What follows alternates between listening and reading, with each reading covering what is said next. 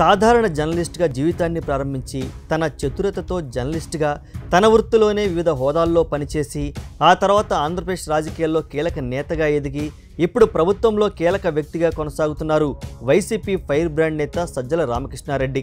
June పదహారు పంతొమ్మిది వందల యాభై ఎనిమిదిన ఆంధ్రప్రదేశ్లోని కడప జిల్లా సింహాద్రిపురం మండలం ముసల్రెడ్డిపల్లిలో సజ్జల రామకృష్ణారెడ్డి జన్మించారు.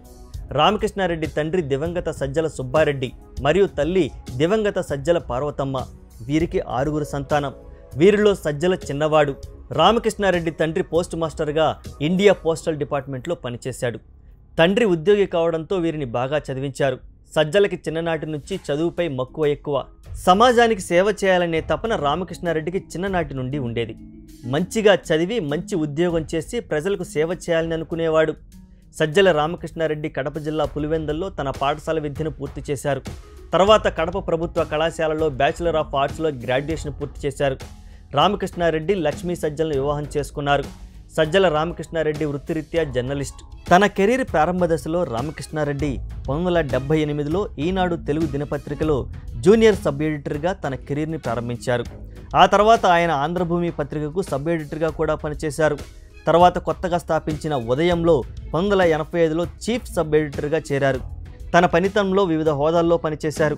ఆ సమయంలోనే దివంగత ముఖ్యమంత్రి రాజశేఖర రెడ్డి కుమారుడు వైసీపీ అధినేత ప్రస్తుత ఆంధ్రప్రదేశ్ ముఖ్యమంత్రి జగన్మోహన్ రెడ్డి స్థాపించిన సాక్షి మీడియాలో వ్యవస్థాపక సంపాదకీయ ఎడిటర్లలో ఒకరిగా నియమింపబడ్డారు.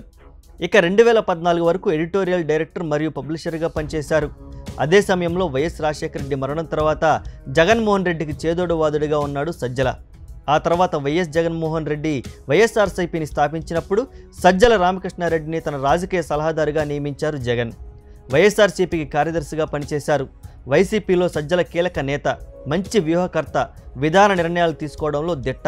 వైసీపీ అధికారంలోకి రావడానికి జగన్ సీఎం అవడానికి సజ్జల కనపడని కృషి చేశారు. ఇక రెండు వేల పంతొమ్మిది ఆంధ్రప్రదేశ్ శాసనసభ ఎన్నికల్లో వైసీపీ పార్టీ అధికారంలోకి వచ్చిన తర్వాత రామకృష్ణారెడ్డి ఆంధ్రప్రదేశ్ ప్రభుత్వం సలహాదారుగా నియమించాడు సీఎం జగన్.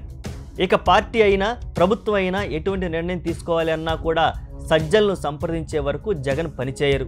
పార్టీని సంస్థాగతంగా బలోపేతం చేయడానికి సజ్జల విశేష కృషి చేస్తున్నారు. అయితే సజ్జలపై కొన్నిసార్లు సొంత పార్టీ నేతలే విమర్శించారు. ఇది బయటికి కనపడలేదు. సజ్జల ఎదుగుదలను ఓర్వలేకపోయారు. ఏదేమైనా సజ్జల జగన్ని కుడిచేయి లాంటివాడు అనేది వాస్తవం. ఇదిలా ఉండగా సజ్జల ప్రభుత్వాన్ని విమర్శించే వారికి గట్టి కౌంటర్లు ఇస్తాడు. తన మాటలతో ముచ్చెమటలు పట్టిస్తాడు. ప్రభుత్వం పార్టీకి ఎవ్వరు విమర్శించినా వారికి తగ్గ రీతిలో కౌంటర్లు ఇస్తాడు సజ్జల రామకృష్ణారెడ్డి.